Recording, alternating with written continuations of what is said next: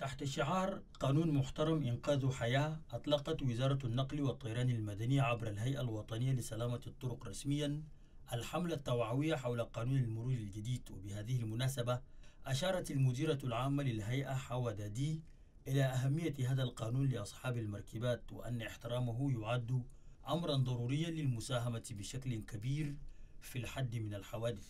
وتخلل حفل الانطلاقة مسرحية جسدت دور الشرطة الوطنية في تنظيم السير والمرور وبعض المخالفات التي تتسبب في وقوع الحوادث كاستخدام الهاتف أثناء القيادة أو تعاطي الكحول والمخدرات وغيرها من المخالفات الأخرى.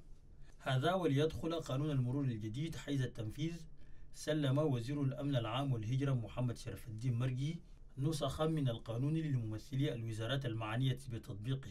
ولدى كلمته لإطلاق الحملة. أشاد وزير الأمن العام والهجرة في البدء بجهود القائمين على أمر الهيئة الوطنية لسلامة الطرق موضحا أن نجاحها يتطلب توسعة للمعنيين بها لجعل قانون المرور أداة حقيقية من أجل تقليل نسبة الحوادث.